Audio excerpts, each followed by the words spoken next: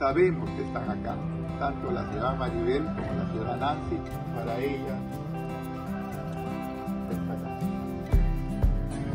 Madre, madrecita linda, tú nunca más volverás a sufrir. Le pido a Dios que te bendiga y te cuide separe de ti.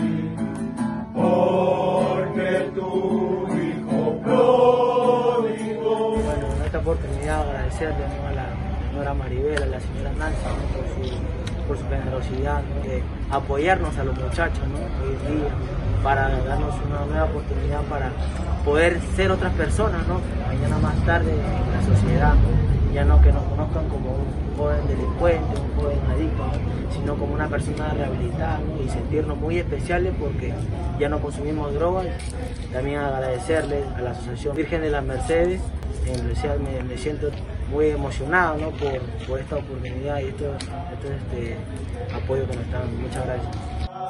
Bienvenida feliz